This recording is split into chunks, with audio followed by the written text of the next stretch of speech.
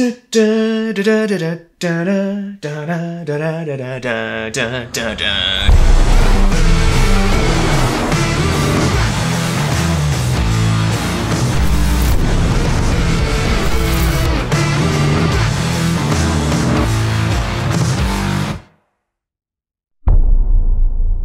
What's going on everybody? It's Weston Ney, and I am here back with another video to talk to you about the latest episode of HouseTrap Monday. I'm sure you've seen it. If not, make sure you go to the top link in the description and watch Shawn Woods' video, HouseTrap Monday episode 2, because if you don't watch that first, this might not make a lot of sense, but you can still watch it if you want, if you're interested in learning uh, about how I make a YouTube series. Now for this episode of HouseTrap Monday, I used a Sony a7S III camera. Its low light performance is absolutely amazing. We've been filming these episodes in some dark places, like this entire last episode, episode 2, was filmed in a basement. Basements are not known for being well lit, and we were using two small lights, and that camera picked up everything and it was so clean, it wasn't grainy, it was perfect for what I was using it for.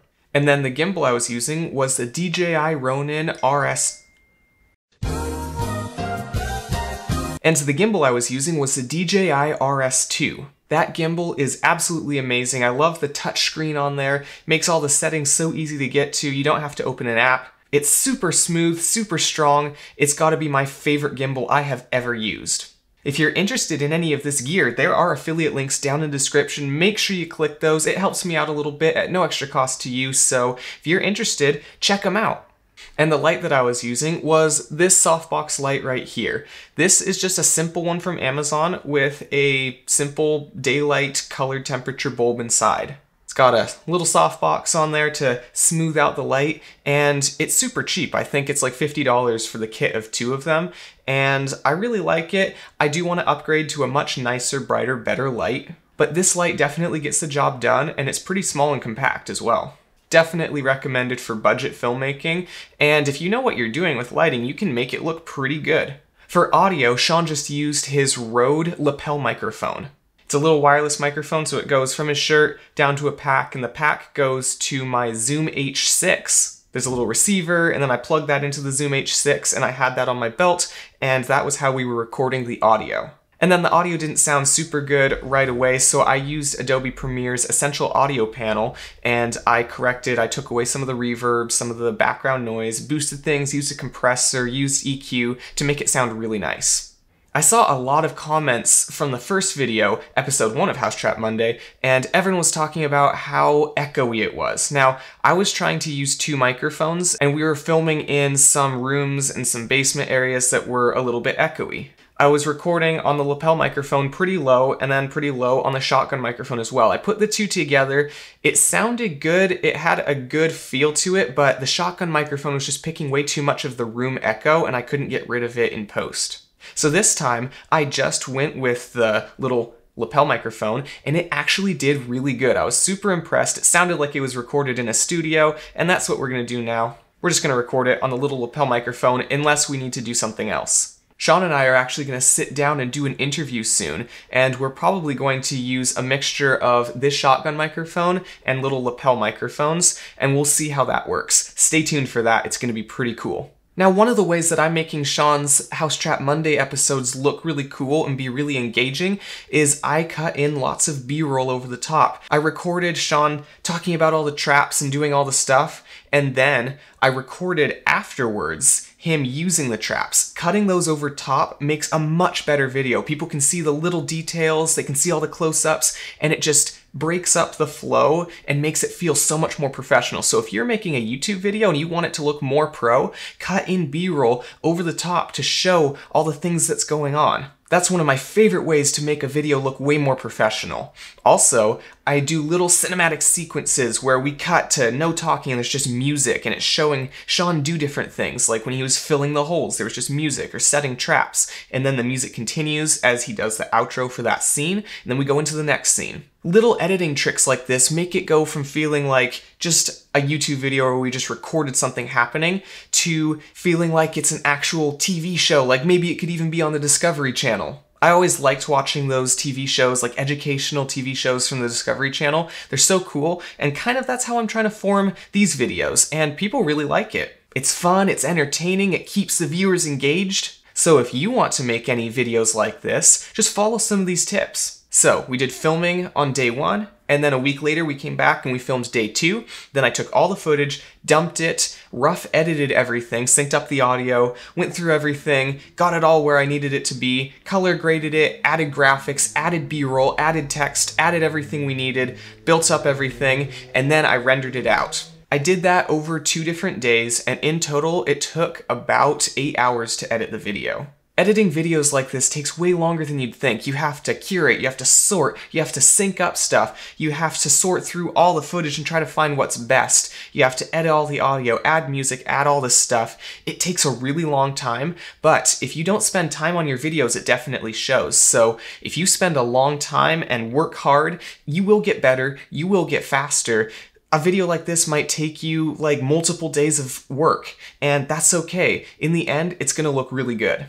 I would suggest if you're having troubles editing your videos and you're like, this is taking absolutely forever, learn keyboard shortcuts. Keyboard shortcuts in Adobe Premiere, some of them I've mapped, some of them are just from the software itself they make editing so much faster and so much more fun. I almost only use keyboard shortcuts to edit. I like move the player head around with my mouse a little bit, and then I do keyboard shortcuts for basically everything, for edits, cuts, ripple edits, ripple deletes, moves, slides, duplications, everything. I use keyboard shortcuts for that. It makes things so fast and so easy. So soon I'll probably make a keyboard shortcut guide for Adobe Premiere to help you get way faster at your editing. So make sure you're subscribed if you want to see that video. Now another thing that's super important for videos is thumbnails. Now for this one we wanted a super eye-catching thumbnail. We wanted a thumbnail that was funny and attention grabbing. So Shawn decided to put on a chef's hat because we're trying to help a kitchen, a restaurant,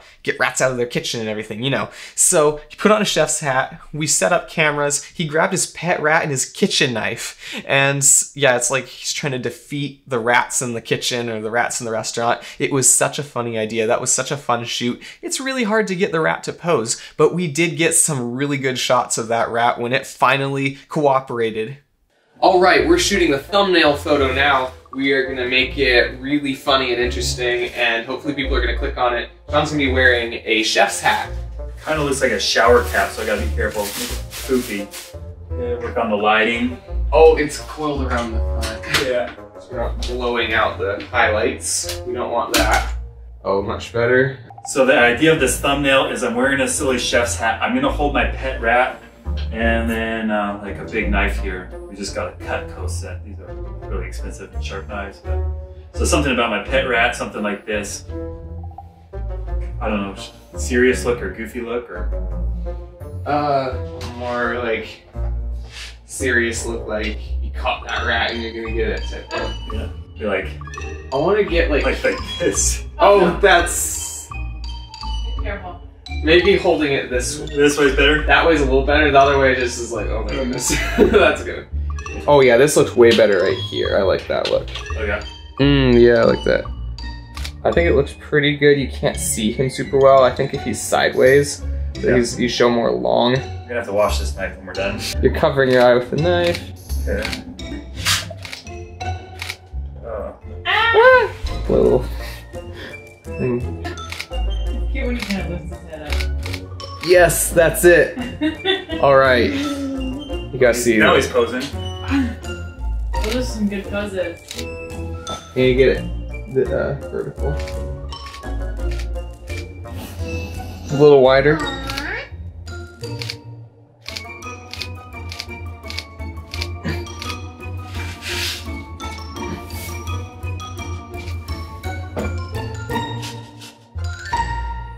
So yeah, that was a super fun photo shoot. I love shooting thumbnails and editing them in Photoshop, just making them look super awesome. Make sure you put time into your thumbnails as well, because if you don't put any time into your thumbnail and you just let it auto pick a spot, or you just pick one of the little preview spots, or you just use a photo, it might not get very many clicks, and that's not good. Make sure you use eye-catching text and eye-catching visuals. Make sure your subject is nice and separated from stuff. Sometimes I even like to put the text behind the subject as long as it's still readable. Like the word restaurant, you can still read it. You still can fill in the gap between where his head is, where it's covering the text. It works out, and I think it looks super professional. And that about wraps it up. That is how I made episode two of HouseTrap Monday. I hope you liked this video. If you want to see more, if you want to see the upcoming interview and more videos from me, make sure you subscribe. Also, make sure you like and comment to help out that algorithm because we all know that's super important, for me at least. Anyway, thanks so much for watching, and I will see you in the next video.